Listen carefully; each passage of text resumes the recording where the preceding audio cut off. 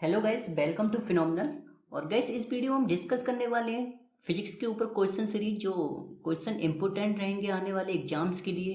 जैसे कि एग्ज़ाम हो गया सी जी एल दो हज़ार अठारह के लिए और वीडियो एग्ज़ाम्स होगा ब्लेज डेवलपमेंट ऑफिसर एग्ज़ाम और रेलवे एग्ज़ाम्स जैसे group D A L P technician के एग्ज़ाम होंगे। तो ये क्वेश्चन इंपॉर्टेंट रहेंगे इन एग्ज़ाम्स के लिए। तो इस क्वेश्चन सीरीज़ में मैं हंड्रेड क्वेश्चन कराऊँगा। तो ये क्वेश्चन सीरीज़ का फ़र्स्ट पार्ट है। पार्ट फ़र्स्ट करेंगे इस क्वेश्चन सीरीज़ का हम, और इसमें हंड्रेड क्वेश्चन कराऊँगा, जो टोटली बेस्ड होंगे फिजिक्स के। फिजिक्स पे और ये क्वेश्चन आ भी चुके हैं और आने का चांस बनता है इन क्वेश्चन का। तो देखते हैं गैस ये क्या है ये क्वेश्चंस तो पहला क्वेश्चन देखते हैं। Light year is unit of ये क्वेश्चन अक्सर पूछा जाता है क्योंकि इस क्वेश्चन पे तीन क्वेश्चन और बनते हैं वो वो भी मैं इस इसी में डिस्कस करूँगा तो वो आप वीडियो को अच्छे से देखिए पूरा। तो देखते हैं पहला क्वेश्चन क्या है? Light year is a unit of तो लाइट एयर किस चीज़ की यूनिट है? टाइम की है क्या? लाइट uh, की है इंटेंसिटी ऑफ़ लाइट की है या डिस्टेंस की है? तो जो लाइट एयर होती है वो डिस्टेंस की यूनिट होती है और ये डिस्टेंस होती है मतलब जो सन और अर्थ की जो डिस्टेंस होती है, बीच की दूरी, ये सब नापने के लिए जो लाइट एयर लाइट एयर का यूनिट का प्रयोग किया जाता है। लेकिन एक आपने नाम सुना होगा, पारसेक। पारसेक, ये भी डिस्टेंस की ही यूनिट होती है। डिस्टेंस की ही यूनिट होती है, बट ये एस्ट्रोनॉमिकल डिस्टेंस डिस्टेंस होती है, एस्ट्रोनॉमिकल डिस्टेंस। तो उसमें ये, अगर ये क्वेश्चन अगर पारसेक करके पूछता है क्वेश्चन तो वो एस्ट्रोनॉमिकल डिस्टेंस करके ऑप्शन देगा। और अगर लाइट ईयर कर लाइट ईयर या यूनिट ऑफ़ करके पूछता है तो खाली वो डिस्टेंस दे रखा होगा। तो ये दोनों ही डिस्टेंस की यूनिट होती है, बस जो पार्सेक होता है वो एस्ट्रोनॉमिकल डिस्टेंस होती है। और मैं कुछ और बता दूँ, अगर लाइट ईयर की बात करें तो one light year equal to होता है nine point four six into की पावर फिफ्टीन मीटर तो इस चीज़ को भी ध्यान रखें, ये भी क्वेश्चन जैसे पूछ सकता है या कुछ भी आ सकता है लिख के। तो इस चीज़ को भी ध्यान रखें कि one light year equal to होता है nine point four six ten की power fifteen metre and question number second की तरफ़ बढ़ते हैं, देखते हैं क्या है। One astronomical unit is the average distance between जो वन एस्ट्रोनॉमिकल यूनिट होती है, वो किसके बीच की दूरी का औसत होती है? तो वो अर्थ एंड सन के बीच की होती है क्या? Earth and the moon and Jupiter and the sun या प्लूटो एंड द सन तो वो डिस्टेंस होती है जो one astronomic astronomical unit is the average distance between तो हमारा फ़र्स्ट ऑप्शन करेक्ट होगा। अर्थ एंड सन के बीच की डिस्टेंस uh, होती है जिसे मैंने आपको बताया कि मतलब पारसेक uh, तो ये अर्थ एंड द सन के बीच की एवरेज डिस्टेंस होती है। तो ध्यान रखेंगे इस चीज़ को। One astronomical unit is the average distance between earth and the sun and next question देखते हैं question number third which of the following is a vector quantity तो इसमें से हमें बताना है कौन सी वेक्टर क्वांटिटी है और कौन सी स्केलर क्वांटिटी अगर हमें ये दोनों के बारे में पता होगा, कौन सी वेक्टर क्वांटिटी होती है, कौन सी स्केलर क्वांटिटी होती है, तभी हम ये क्वेश्चन कर पाएँगे। तो फर्स्टली मैं आपको बता दूँ, इस क्वेश्चन का आंसर होगा मोमेंटम तो which of the following is a vector quantity momentum vector quantity होती है। तो इसको ध्यान रखेंगे मोमेंटम वेक्टर क्वांटिटी होती है। अगर मैं यहाँ नोट करा दूँ आपको, अगर आप वेक्टर क्वांटिटी और इधर लिख लें हम स्केलर क्वांटिटी अगर आप इन्हें नोट भी करना चाहें तो नोट कर सकते हैं। वेक्टर क्वांटिटी में आता है displacement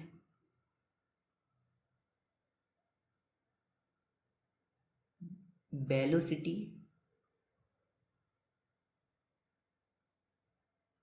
acceleration.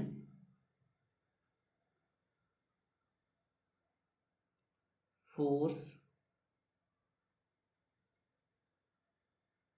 Weight. Moment. Momentum. और इलेक्ट्रिक फ़ील्ड।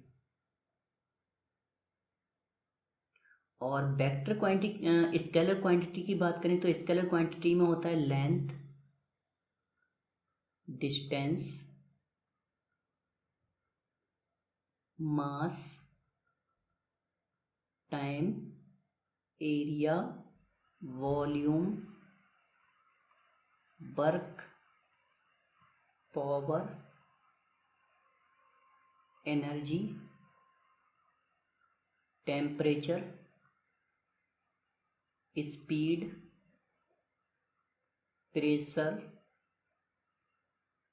charge और पोटेंशियल। ये चीज़ अगर वेक्टर की बात करें तो वेक्टर में होता है displacement velocity, acceleration, force, weight, moment, momentum electric field और स्केलर क्वांटिटी में length, distance, mass, time, area, volume, work power, energy, temperature, speed, pressure, charge and potential. तो आप इन्हें नोट कर लीजिए, ये, इस तरह के क्वेश्चन बनता रहता है अक्सर, ये पूछा जाता है कि कौन सी स्केलर क्वांटिटीज़ हैं, चार ऑप्शन दे देगा, उसमें वेक्टर होंगी, तीन और एक स्केलर होगी। तो एक इस तरह से क्वेश्चन पूछा, या मैचिंग में क्वेश्चन पूछ लिया जाता है। तो हमारे इस क्वेश्चन का तो आंसर मोमेंटम होगा, क्योंकि मोमेंटम वेक्टर क्वांटिटी है। एंड क्वेश्चन नंबर फोर्थ देखते हैं। If a gymnast standing on a rotating stool with his arms stretched and suddenly lowers his arms एक जिमनास्ट कोई भी पर्सन जिमनास्ट को छोड़ो अगर कोई भी पर्सन है रोटेटिंग स्टूल पे खड़ा है किंडर गेंट अगर जो स्कूल होते हैं मतलब छोटे बच्चों के लिए तो उस पर घूमने वाला एक आ, खेलने के मैदान में होता है उस पर अगर वो घूम रहा है और उस पर बंदा खड़ा है तो इस क्वेश्चन में क्या करें standing on a rotating stool with his arms stayed उसके हाथ फैले हुए हैं एंड सडनली लोअर से जाम्स अगर अचानक से वो हाथ नीचे कर लेता है तो जो इस, उसकी स्पीड थी स्टूल की घूमने की, क्या उस पर क्या फ़र्क पड़ेगा? तो देखते हैं, पहला ऑप्शन क्या है? हिज एंगुलर वेलोसिटी डिक्रीजेस उसकी वेलोसिटी कम हो जाएगी घूमने की, या his angular velocity remains constant same रहेगी, या हिज एंगुलर वेलोसिटी इंक्रीजेस या बढ़ जाएगी, या his moment of inertia increases तो हमारा ऑप्शन होगा his angular velocity remains constant अगर वो हाथ को फैलाए ही रहता तो धीरे धीरे उसकी एंगुलर वेलोसिटी कम हो जाती है, लेकिन अचानक उसने हाथ नीचे कर लिए तो वेलोसिटी कांस्टेंट रहेगी।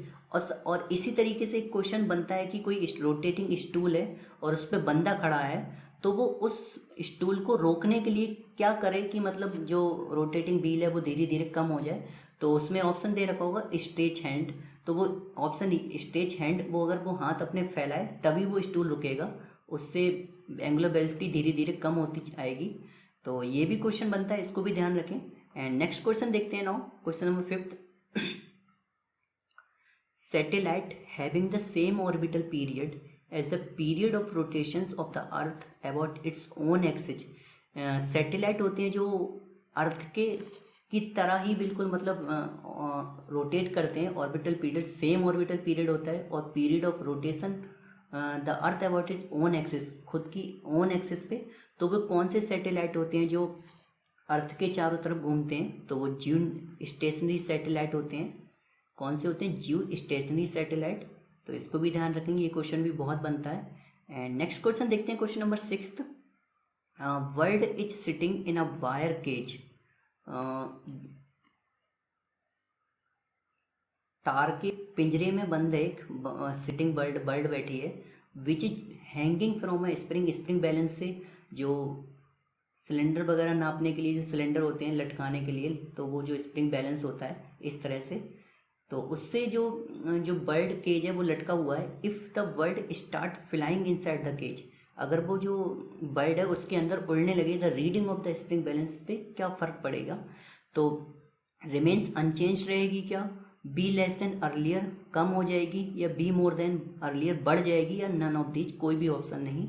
तो हमारा आंसर क्या होगा? बी लेस देन एयर जो पहले बैलेंस जो वेट बता रहा था, उससे कम हो जाएगा।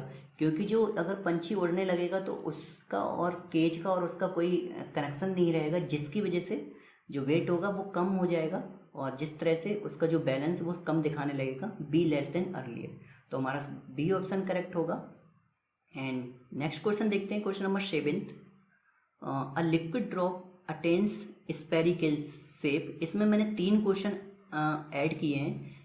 ये क्वेश्चन एक क्वेश्चन सिर्फ़ इस तरह, ये इतना पूछा जाएगा, दूसरा क्वेश्चन सिर्फ़ इतना पूछा जाएगा और तीसरा क्वेश्चन सिर्फ़ इतना पूछा जाएगा. बट तीनों का आंसर सेम होता है, मैं तीनों को ऐड कर दिया हूँ तो आप तीनों को देखिए. Liquid drop attains spherical shape जो लिक्विड होता है कि ड्रॉप होती है, बूंद होती है, वो स्पेरिकल सेप अटेंड कर लेती है, या contact and occupy minimum area minimum minimum area occupy करती है, और insect can move on the surface जो इंसेक्ट होते हैं, कीड़े होते हैं, वो पानी की सतह पे बैठ पाते हैं या उड़ पाते हैं, जैसे मच्छर हो गया, वो पानी की सतह पे बैठ पाता है तो वो किस कारण बस होता है? Surface of water due to तो वो किस वजह से होता है? वो सरफेस टेंशन की वजह से होता है, ये प्रॉपर्टी होती है वाटर की, या लिक्विड की तो क्या होगा हमारा आंसर सरफेस टेंशन अच्छा क्वेश्चन हमें तीनों क्वेश्चन तीनों तरीके से पूछा जा सकता है। ये क्वेश्चन तो तीनों को, चीज़ों को ध्यान रखें। सबका आंसर सरफेस टेंशन ही होगा। एंड नेक्स्ट क्वेश्चन देखते हैं। Earth the velocity of wind is measured by तो जो वेलोसिटी होती है विंड की, वो किस से किस इंस्ट्रूमेंट से मेजर की जाती है? तो हमारा आंसर होगा एनिमोमीटर एनोमी एनिमोमीटर से मेजर करते हैं। Wind of velocity velocity of wind but eudiometer से क्या मेजर करते हैं? पोलैरीमीटर से क्या मेजर करते हैं? स्पैरोमीटर से क्या मेजर करते हैं? ये भी देख लीजिए। ये भी क्वेश्चन पूछे जा सकते हैं। तो यूडियोमीटर को यूज़ करते हैं वॉल्यूम ऑफ़ गैसेस नापने के लिए। वॉल्यूम ऑफ़ गैसेस और पोलैरीमीटर को यूज़ करते हैं एंगल ऑफ़ रोटेशन मेजर करने के लिए। एंगल ऑफ़ रोटेशन और स्पैरोमीटर को यूज़ करते हैं air capacity of lungs. To measure air capacity of lungs spirometer को यूज़ करते हैं, पोलैरीमीटर को यूज़ यूज़ करते हैं, measure angle of rotation, angle of rotation और यूडियोमीटर को यूज़ करते हैं वॉल्यूम ऑफ़ गैसेस जानने के लिए। तो इन चीज़ों को भी आप ध्यान रखें, मैंने चारों को डिफाइन कर दिया, एक पहले तो वेलोसिटी ऑफ़ विंड को, एनिमोमीटर से मेजर किया जाता है और वॉल्यूम गैसेस को यूडियोमीटर से मेजर किया जाता है एंगल ऑफ़ रोटेशन को पोलैरीमीटर से, एयर कैपेसिटी ऑफ़ लंग्स को स्पैरोमीटर से। एंड नाउ नेक्स्ट क्वेश्चन देखते हैं। Question number ninth earliest thermometer was discovered by तो जो थर्मोमीटर था वो किसने डिस्कवर किया था? वो गैलीलियो गैलीलियो ने डिस्कवर किया था तो हमारा करेक्ट ऑप्शन गैलीलियो होगा। बट एवेंजलिस्टा टोरिसली ने क्या डिस्कवर किया था? ब्रो बार्टोलोमियो क्रिस्टोफोरी ने क्या डिस्कवर किया था? एलेक्जेंडर डेवेन ने क्या डिस्कवर किया था? ये भी आप देख लीजिए। एवेंजलिस्टा टोरिसली ने बारोमीटर डिस्कवर किया था, जिसे हम प्रेशर नापने के लिए यूज़ करते हैं। यूज़ फॉर मेजरिंग प्रेशर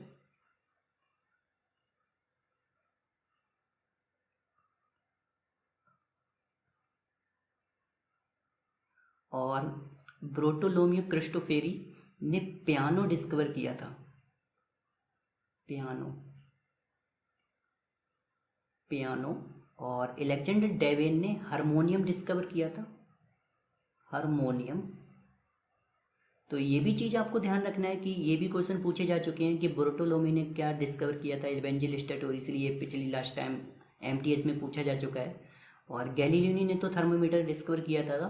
तो आप इन चीज़ों को भी ध्यान रखें। एंड नेक्स्ट क्वेश्चन की तरफ़ बढ़ते हैं question number tenth gas thermometer are more sensitive than the liquid thermometer. जो गैस थर्मोमीटर्स होते हैं, वो ज़्यादा सेंसिटिव होते हैं as compare to liquid thermometer liquid thermometer की कंपेरिजन में gas thermometer are more sensitive because the gases क्योंकि gases have the low specific heat क्योंकि गैसेस की स्पेसिफिक हीट लो होती है, इसलिए gas thermometer are more sensitive तो हमारा करेक्ट ऑप्शन क्या होगा?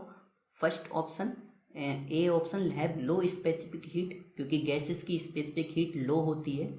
तो इस वजह से gas thermometers are more sensitive than the liquid thermometer. And question number eleventh की तरफ़ बढ़ते हैं।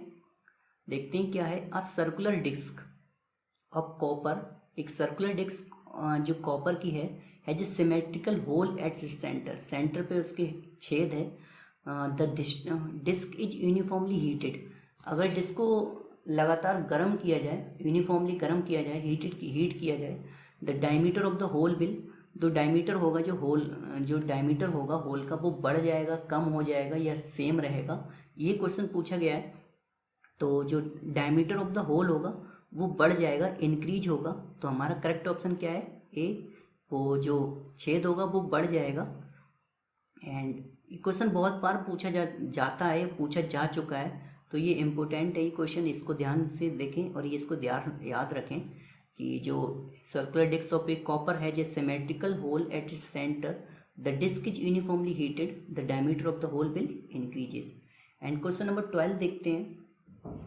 A liquids initially contracts when cool down to four degree centigrade मतलब जब फोर डिग्री सेंटीग्रेड से डाउन में जब लिक्विड को कूल किया जाता है तो वो कॉन्टेक्ट्स होता है बट ऑन फर्दर कूलिंग लगी। और उसके बाद जब कूलिंग करते हैं down to zero degree centigrade zero degree से सेंटीग्रेड से नीचे it expands the liquid is तो वो कौन सा लिक्विड है जो अगर हम चार डिग्री से नीचे उसको कूल करें तो वो कॉन्टेक्ट होता है, सुकुड़ता है स्टार्टिंग में। लेकिन जब हम ज़ीरो डिग्री के नीचे पहुँचते हैं तो वो फर्दर एक्सपेंड होता है, बाद में बढ़ता है। तो वो कौन सा लिक्विड है? तो वो लिक्विड होगा वाटर तब भी देखा होगा मतलब जहाँ जैसे ठंड ज़्यादा पड़ती है पोलर रीजन्स में वहाँ पर जो पाइपलाइंस होती हैं, वो फट जाती हैं ठंडों में, ज़्यादा ठंडों में। तो इस चीज़, इस, यही कारण होता है कि मतलब जो वाटर होता है, उसको ज़्यादा कूल cool किया जाता है मतलब फोर डिग्री से नीचे टेम्परेचर हो जाता है तो वो जो वाटर होता है कूल cool किया, वो एक्सपेंड होता है। इस वजह से पाइपलाइंस फट जाती हैं। तो वो कौन सा लिक्विड है? वो वाटर ही है। एंड क्वेश्चन नंबर थर्टीन देखते हैं next question a large iceberg melts at the base but not at the top because a large iceberg melts at the base but not at the top तो ये question मैं आपको समझाना चाहूँ, जैसे बर्फ़, बर्फीली एरिया होती है, जैसे कश्मीर ले लें तो बर्फ़ तो ऊपर तो बर्फ़ जमी हुई होती है बट अगर उसके नीचे देखें तो पानी होता है, कहने का मतलब लेकिन होता ठंडा है। तो जो ऊपर का जो बर्फ़ होता है, वो तो जमी हुई होती है बट नीचे पानी होता है तो यही क्वेश्चन पूछ रहा है a large iceberg melts at the base नीचे तो पिघला हुआ था, होता है but not at the top तो नीचे नहीं, ऊपर नहीं पिघलता है तो वो किस कारण बस होता है? The base of iceberg remains in बार्मन condition कोई मतलब नहीं बनता इस ऑप्शन का. Ice at the base contains impurities इस ऑप्शन का भी कोई मतलब नहीं बनता. और ice at the top is different kind इस क्वेश्चन इस ऑप्शन का भी कोई मतलब नहीं बनता. तो जो हमारा करेक्ट ऑप्शन होगा वो सी होगा. Higher pressure at the base lowers the melting point जो प्रेशर होता है वो नीचे ज़्यादा होता है, जिस वजह से टेम्परेचर लो हो जाता है base lowers the melting point जो मेल्टिंग पॉइंट होता है वो लो हो जाता है और जिस जिस वजह से आइस मतलब नीचे पिघली हुई रहती है और ऊपर जमी हुई रहती है. तो यही कारण होता है तो इस चीज़ को भी ध्यान रखें। एंड नेक्स्ट क्वेश्चन देखते हैं fourteen question number fourteen the pressure exerted by a seven sixty M M column of mercury at zero degree centigrade is known as तो वो क्या कहेंगे उसको? तो उसको कहेंगे बनबार तो बनबार प्रेशर होता है वो। प्रेशर की ही यूनिट होती है बार। तो the pressure exerted by a seven sixty M M column of mercury at zero degree centigrade is known as one bar. ये क्वेश्चन पूछा जा चुका है। ध्यान रखें, इस क्वेश्चन को पूछा जा सकता है। नेक्स्ट क्वेश्चन देखते हैं।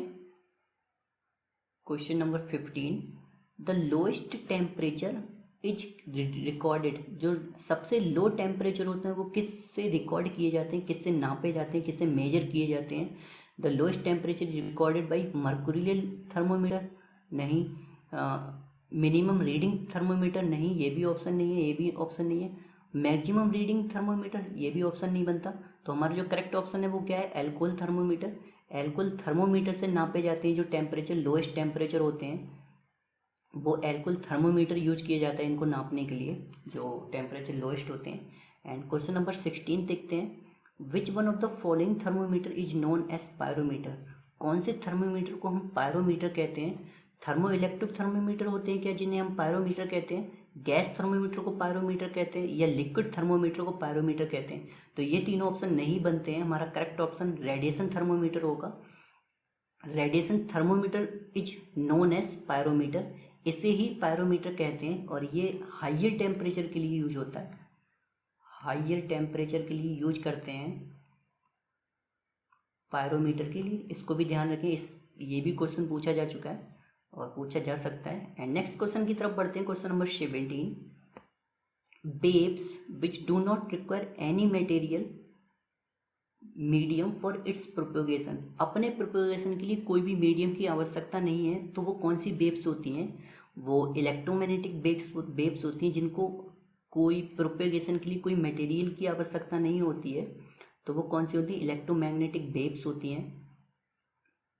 तो अच्छा क्वेश्चन है, इसको ध्यान रखें, आ भी सकता है ये question and question number eighteen देखते हैं instruments use to study the behaviour of vibrating stand string तो जो वाइब्रेटिंग स्ट्रिंग स्ट्रिंग होती है, रस्सी होती है, या स्ट्रिंग होती है, जो गिटार में होती है तो जो उनकी जो behaviour study the behaviour of vibrating string तो उस बिहेवियर को पढ़ने के लिए कौन सा इंस्ट्रूमेंट यूज़ करते हैं?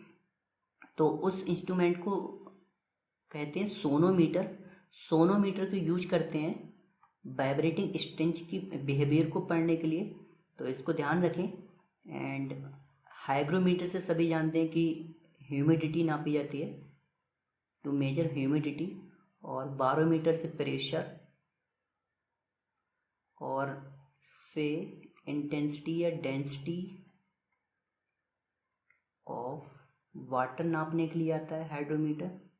और इससे ह्यूमिडिटी नापते हैं हाइग्रोमीटर से और बारोमीटर से प्रेशर और तो ये चीज़ भी जान लीजिए मतलब हाइग्रोमीटर से ह्यूमिडिटी मेजर की जाती है। सोनोमीटर से तो हमारा जो क्वेश्चन है वो वाइब्रेटिंग स्ट्रेंज का बिहेवियर और बारोमीटर से प्रेशर हाइड्रोमीटर से density of water and question number nineteen देखते हैं। When light waves pass pass from air to glass जब लाइट वेव्स पास होती हैं एयर से गिलास में द वेरिएबल इफेक्टेड आर तो जो द वेरिएबल अफेक्टेड आर तो कौन कौन से वेरिएबल्स मतलब चेंज होते हैं? तो पहले मैं साउंड लाइट वेव्स के बारे में बता दूँ कि लाइट वेव्स में फ्रीक्वेंसी होता है, वो अनचेंज रहता है, उस पर कोई फ़र्क नहीं पड़ता और वेव लेंथ वेव लेंथ और वेलोसिटी चेंज होती हैं। तो इस हिसाब से देख ली फ्रिक्वेंसी तो अनचेंज रहेगी। तो पहला ऑप्शन तो बनता नहीं है सेकंड ऑप्शन भी नहीं बनता है क्योंकि फ्रिक्वेंसी चेंज दिखा रहा है। और थर्ड ऑप्शन भी नहीं बनता तो हमारा करेक्ट ऑप्शन क्या होगा? डी होगा। Wavelength and velocity change होता है और frequency remains unchanged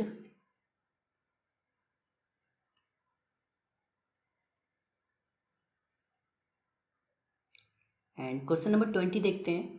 Which of the following types is use by computed tomography employed for visualization visualization of the internal structure of human body question को घुमा फिरा के English में बोला गया है बट इसका मीनिंग यही है कि मतलब किस चीज़ को यूज़ करते हैं बॉडी की जो अंदर के पार्ट्स देखने के लिए। तो सभी जानते हैं एक्सरेज को यूज़ करते हैं हम लोग। जब हमें अंदर कोई बॉडी पार्ट्स में जैसे किडनी का कराते हैं एक्सरे तो ये चीज़ अंदर की जो पार्ट्स देखने के लिए एक्सरे ही कराते हैं तो ऑप्शन होगा। करेक्ट ऑप्शन होगा एक्सरेज और ज़्यादा क्वेश्चन की लैंग्वेज पर ना जाए मतलब वो यही कहना चाह रहा है कि किस चीज़ को यूज़ करते हैं। तो एक्सरेज होता है वो। एंड क्वेश्चन नंबर नेक्स्ट देखते हैं twenty first if a boy is sitting in train which is moving at a constant velocity throws a ball straight into the air the ball will इस question को दो तरीके से पूछा जाता है। दो तरीके से पूछा जाता है। बट वो सिर्फ़ क्या डिफरेंस करेगा? यहाँ पर ट्रेन की जगह वो ओपन कार कर देगा या ओपन ट्रेन बोलेगा। तो ट्रेन तो ओपन होती नहीं है तो कार बोलेगा जो ओपन होगी। बस इतना फ़र्क करता है और आंसर चेंज हो जाता है। यहाँ ट्रेन की बात कर रहा है, कहने का मतलब रेजिस्टेंस ऑफ़ एयर नहीं होगा। नो रेजिस्टेंस ऑफ़ एयर मतलब बंद ट्रेन की बात कर रहा है तो नो रेजिस्टेंस ऑफ़ एयर तो हमारा ऑप्शन क्या होगा? If a ball is sitting in a train which is moving at a constant velocity throw a ball straight into the air एक कोई लड़का ट्रेन के अंदर बैठा, कोई बॉल उछालता है सीधे अपने ऊपर द बॉल विल तो जो बॉल होगी वो आगे गिरेगी उसके, पीछे गिरेगी या फॉल इन टू हैंड या नन ऑफ़ दीज तो हमारा करेक्ट ऑप्शन क्या होगा? फॉल इन टू हैंड तो हमारा करेक्ट ऑप्शन होगा fall into hand but अगर यहाँ पर वो कार कहता ओपन कार ओपन कार कहता तो फिर आंसर होता, फॉल बिहाइंड हिम। तो आंसर होता, फॉल बिहाइंड हिम, क्योंकि रेजिस्टेंस ऑफ़ एयर लग जाता, इस वजह से आंसर चेंज हो जाएगा रेजिस्टेंस ऑफ़ एयर लग जाएगा, इस वजह से आंसर चेंज हो जाएगा। तो इस चीज़ को ध्यान रखें, दो तरीके से क्वेश्चन पूछा जाता है and question number twenty two देखते हैं it is easier to carry two buckets of a water in one hand each ये आसान होता है कि मतलब हम एक बाल्टी एक हाथ में, दूसरी बाल्टी दूसरे हाथ में ले जाने में मतलब दो बाल्टी एक एक हाथ में ले जाने में आसानी होती है, जबकि एक बाल्टी ले जाने में than to carry only one in one hand एक हाथ में एक बाल्टी ले जाने में से ज़्यादा आसान होता है कि दो बाल्टी एक एक हाथ में ले जाओ। तो वो किस वजह से आसानी होती है? Weight of a buckets are balanced जो वेट होता है बकेट्स का वो बैलेंस्ड हो जाता है। ये नहीं है। Centre of gravity falls within the body ये भी नहीं है। Resultant weight of bucket is zero resultant weight of bucket का ज़ीरो हो जाता है, ये भी नहीं है। जो करेक्ट ऑप्शन होगा वो ये होगा सेंटर ऑफ़ ग्रेविटी का फ़र्क पड़ता है।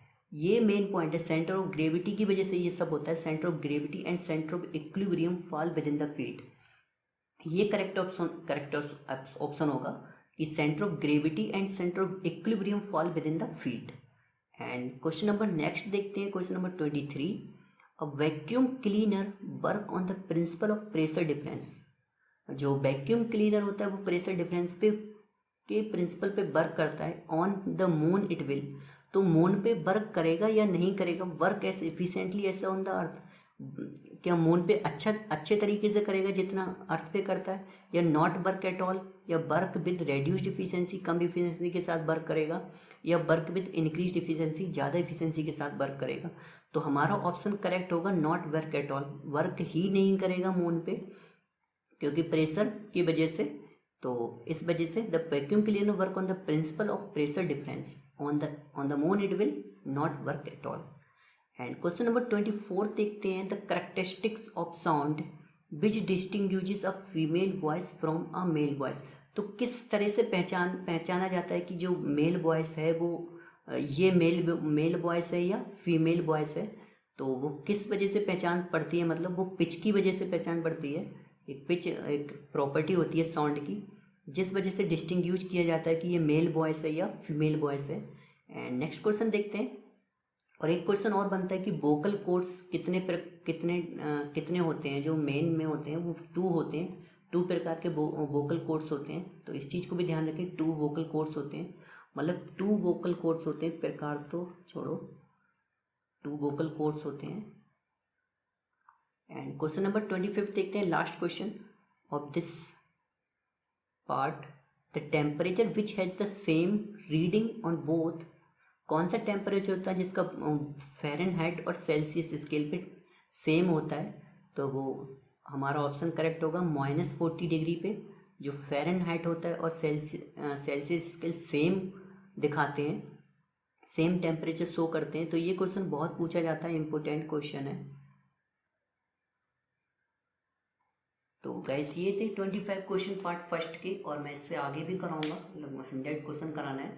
तो गैस अगर आपको ये वीडियो पसंद आई हो तो प्लीज़ इसे लाइक कीजिए और अपने दोस्तों को शेयर भी कीजिए। एंड हो सके तो चैनल को सब्सक्राइब करें। और बने रहें हमारे चैनल के साथ। And so thank you so much for watching this video